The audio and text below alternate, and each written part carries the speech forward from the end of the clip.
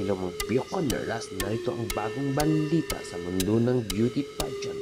Celeste Cortesi ng Pasay nagpasabog sa kanyang hottest latest photoshoot. Narito ating panoorin.